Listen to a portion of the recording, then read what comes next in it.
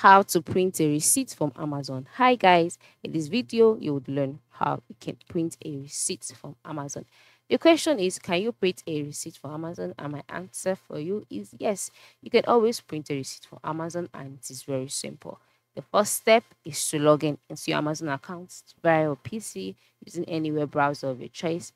And then once you're logged in, you will go to the home page where you can see several awesome products and then by the top right side you can see different options as well such as your shopping carts return and orders then you can see your account and list. Just click on your account and list. And then once you're on your accounts page you can see several options too.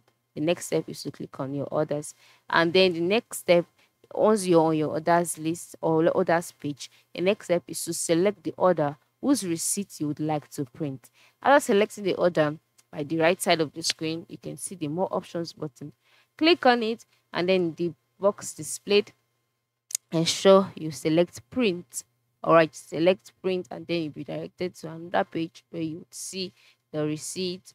You print um print receipt, sorry, you see your receipt, click on print and then the receipt to be downloaded into your PC. From there, you can now go ahead, connect your PC to a printer and then print out the receipt. It is very simple. Just ensure you navigate through to the orders page. Select the order whose receipt you want to print. Click on print receipt and from there you'll be directed on what to do. I hope this tutorial has been helpful. Ensure you try this out, alright? Thank you.